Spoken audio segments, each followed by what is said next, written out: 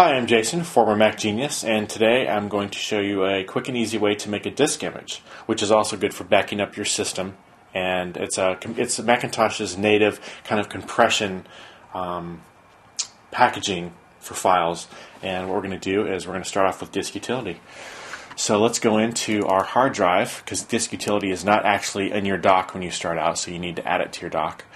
Um, and I'm going to make this kind of easy to navigate. We're going to go into our applications, scroll down into our utilities, and go to disk utility. And we're going to launch that.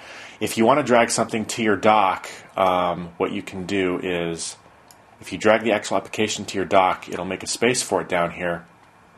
And if you want to take it out of your dock, you just drag it out and hold it like that, and it will delete. So uh, we're going to launch this by not dragging it into our dock, and then we're going to go down here, click and hold on it, and say keep in dock so we can access this in the future.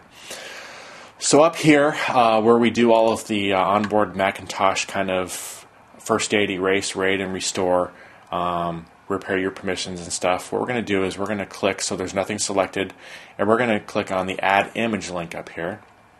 And what that does is it's going to um, make a new disk image. So we're going to name this new disk image and you can allocate the size that you want this disk image to be, um, or it's also proportionate to the media you want as well. So we're going to say 500 megabytes. Um, encryption, you can encrypt this if you wish. So you also have sparse disk image here, which you can utilize to reinstall your system if you've uh, you've saved your system through a creating it through disk image. Um, so I'm going to save this and I'm just going to save this on the desktop. And a quick way to get to the desktop is also to hit Command D on the keyboard.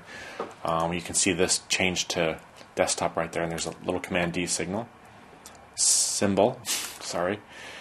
And so we're going to create the new disk image, and because we encrypted it, it's going to ask us for a uh, password and to verify the password, and that's your system admin password that you created.